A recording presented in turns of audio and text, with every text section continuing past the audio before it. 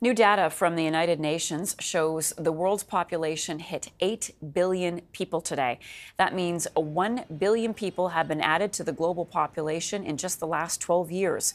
Middle income countries, mostly in Asia, accounted for the most growth over the past decade, gaining around 700 million people since 2011. The UN is projecting that the global population will peak at about 10.4 billion people in the 2080s and remain at that level until the year 2100, which is hard to wrap your mind around. With more, I'm joined by Darrell Bricker, Global CEO of Ipsos Public Affairs and co author of Empty Planet The Shock of Global Population Decline. Good morning and welcome.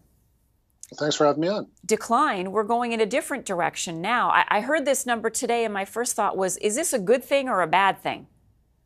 Well, as John Ibbitson and I argue in uh, Empty Planet, it's neither a good thing nor a bad thing, but it's an important thing.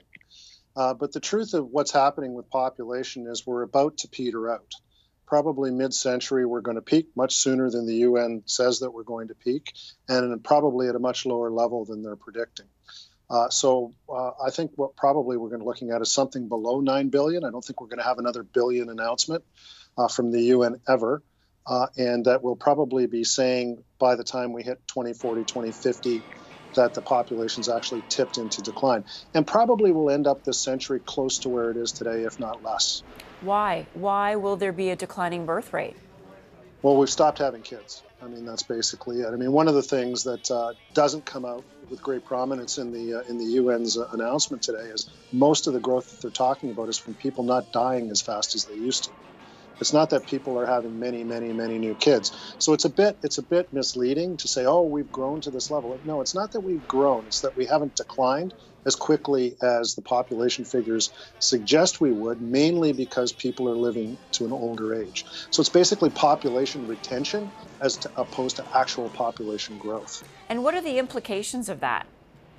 Oh, they're huge, Marcia. They're huge. For Canada, for example, there's a reason that the government has announced that we need, you know, 500,000 new immigrants next year.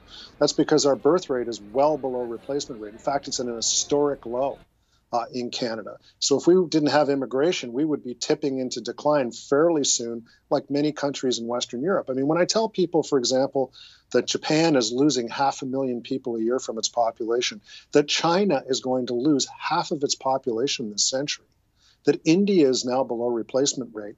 These are this is shocking information for most people, but it's the truth of what's happening with global population.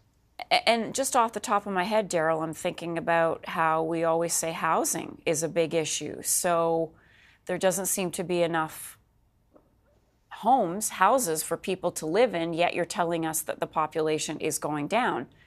It's kind of confusing. Well, it's, well, it's not that there's not enough homes. It's that there's not enough homes where people want to live. So if you go to places in, in Canada, and then this is a global phenomenon, by the way, not just a Canadian phenomenon. Yeah. If you go to like mid-sized cities in, in more remote parts of this country, they're all in decline. Uh, and real estate is not priced like they're living in the greater Toronto area or in Vancouver or in downtown Montreal.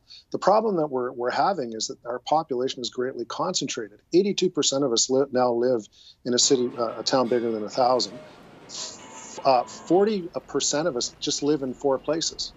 Uh, Toronto, Montreal, Vancouver, and, uh, in Calgary. So the problem with housing is that the supply in the country doesn't match the demand, and the demand is mostly growing in car commuting suburbs. Fascinating. Um, so overall, what do you think? What what trends are you watching for then next, Darrell? Well, how fast this is going to happen. I mean, mm. and that's the thing. I mean, the UN, the last time they put out one of these projections was in 2017. And since then, their estimate to the end of the century is that the population is going to be 800 million less than they were projecting even back five years ago.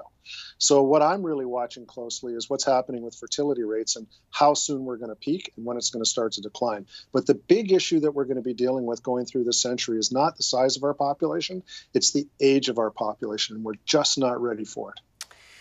And that is a whole other conversation. Darrell, so glad you were able to join us today. Darrell Bricker is the global CEO of Ipsos Public Affairs.